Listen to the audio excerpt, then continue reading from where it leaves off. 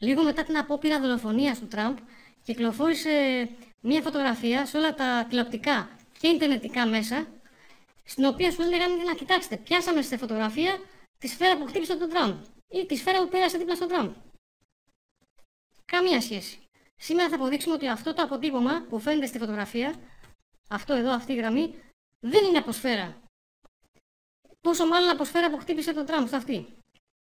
Αυτή την έβγαλε ένας ε, διάσημος ε, φωτογράφος ε, που φωτογραφίζει συνέχεια εδώ και πολλά χρόνια προέδρος της Αμερικής. Τη δουλεύει στο New York Times, είναι ο Doug Mills. Αυτός την έβγαλε και εκείνη τη στιγμή που την έβγαλε ήταν κάτω, κάτω από την εξέδρα. Έκανε βόλτες εδώ πέρα. Ο Τραμπ ήταν εδώ και αυτός έκανε βόλτες εδώ πέρα.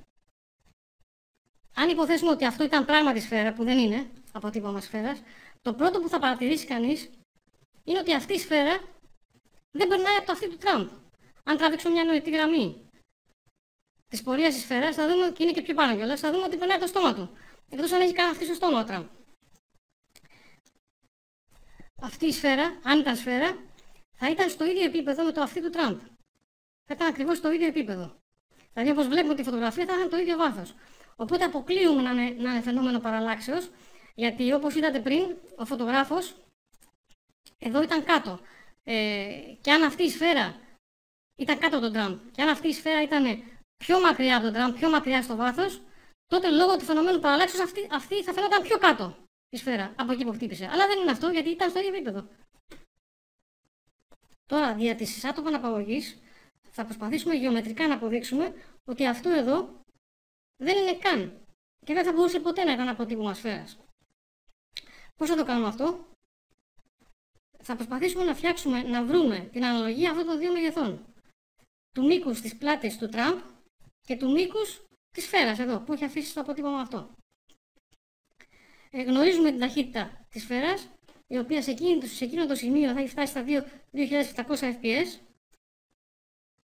και γνωρίζοντας τα στοιχεία του φωτογράφου, όπου το exposure time της κάμερας ήταν 1 προς 8.000, δηλαδή αυτό το frame που έβγαλε ήταν 0,00025 δευτερόλεπτα, μπορούμε να υπολογίσουμε το μήκος αυτό.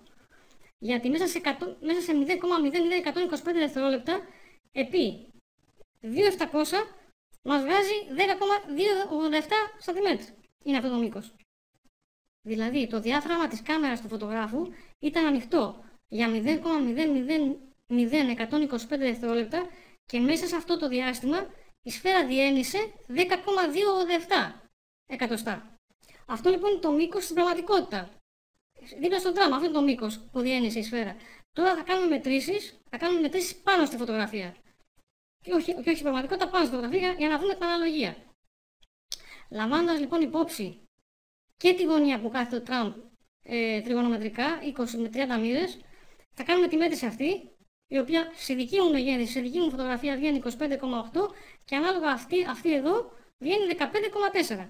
Επομένως, 25,8 για 15,4 μας κάνει μια αναλογία 1,675. Δηλαδή αυτή, αυτή η γραμμή είναι 1,675 φορές μεγαλύτερη από αυτή τη γραμμή. Και τι σημαίνει αυτό; Αυτό σημαίνει ότι τώρα μπορούμε να βρούμε το μήκος της πλάτης του Τραμπ. Και αυτό το βρίσκουμε αυτό το, εφόσον έχουμε αυτό το νούμερο λοιπόν εδώ, το 10,287 αναλογικά επί 1,675 το μήκος της πλάτης του Τραμπ θα είναι 17,2 λεπτά. Ούτε με σφαίρες.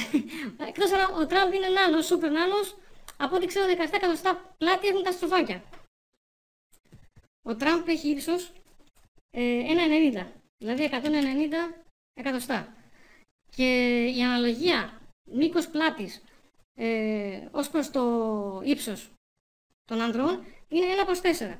Επομένως αν διαιρέσουμε δια 4, η πλάτη του Τραμπ πρέπει να, τουλάχιστον, πρέπει να, να είναι τουλάχιστον 47 εκατοστά. Και εμείς βγάλαμε 17. Άρα με τίποτα αυτό δεν είναι αποτύπωμα σφαίρας. Με τίποτα, ούτε με σφαίρες. Αντίστοιχες πράξεις θα μπορούσαμε να κάνουμε έχοντας ως δεδομένο την πλάτη του Τραμπ, που το ξέρουμε, είναι γύρω στα 47 εκατοστά. Ε, έχοντας δεδομένο αυτό λοιπόν, η ταχύτητα της σφαίρας θα έγινε γύρω στα 7.000 fps, που ούτε αυτό ισχύει με τίποτα.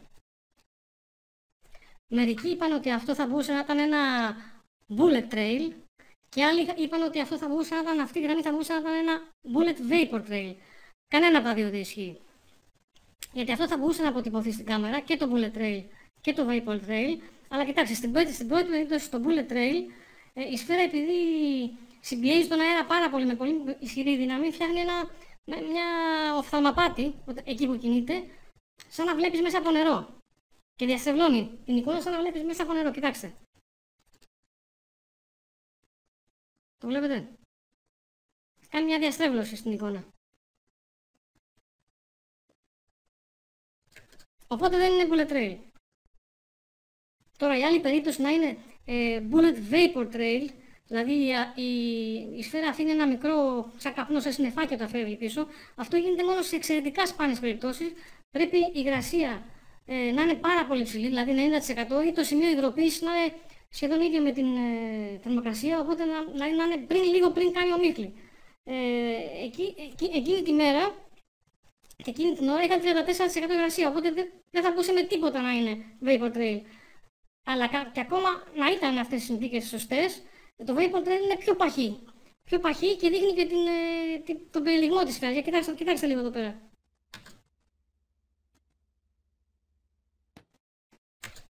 Το βλέπετε; Καμία σχέση με bullet trail, ούτε αυτό. Με vapor trail. Τώρα θα αποδείξουμε με άλλον έναν πιο ωραίο τρόπο ότι αυτό το αποτύπωμα δεν είναι λαγοσφαίρα. Αυτά είναι τρία καρέ του Doug Mills ε, που έβγαλε τον Τραμπ να σηκώνει το χέρι του να πιάσει τα αυτή του. Εδώ που το πιάνει ότι έχει χτυπηθεί και εδώ βλέπουμε το αίμα. Βλέπουμε λίγο αίμα στο χέρι του. Είναι το φωτογράφο που ήταν κάτω. Το Doug Mills. Λοιπόν, ε, σε αυτό το καρέ, εδώ που βλέπουμε, αν το μεγεθύνουμε, εδώ είναι το, το trace. Εδώ είναι το trace.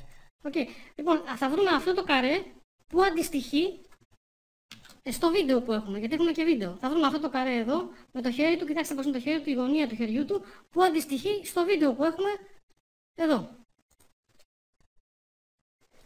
Αυτό είναι το καρέ λοιπόν, ή αυτό, ή αυτό. Ένα από τα δύο είναι το καρέ που είχε, που είχε πιάσει ο Doug Mills.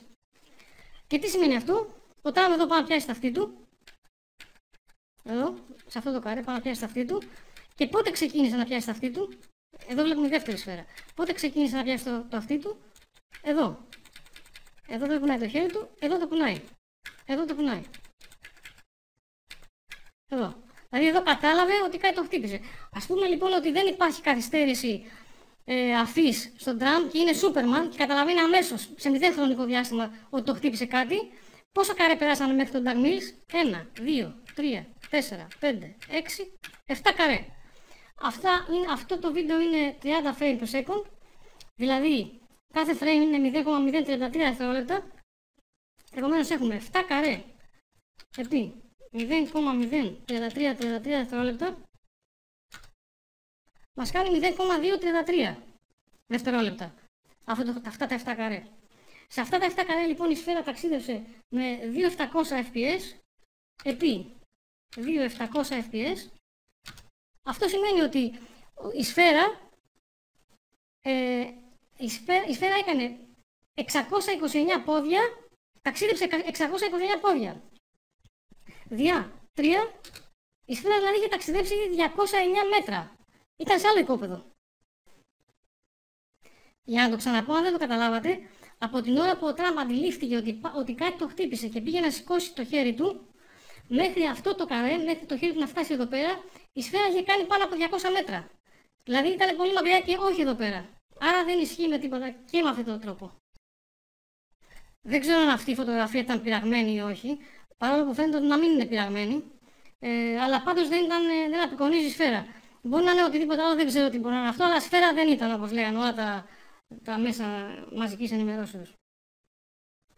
Το αστείο είναι ότι λίγες μέρες μετά ε, εδώ στις 17 Ιουλίου, παραδείγματος χάρη, βγήκαν τα τρόλ, τα κυβερνητικά τρόλ, αμέσως να μας ε, επιβεβαιώσουν ότι αυτή πράγμα ήταν σφαίρα, δεν ήταν κάτι άλλο, ήταν σφαίρα, οι fact checkers. Και το βγάλανε true.